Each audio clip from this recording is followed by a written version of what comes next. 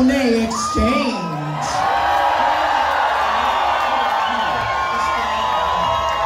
Thank God for all those who have paved the way for our freedom.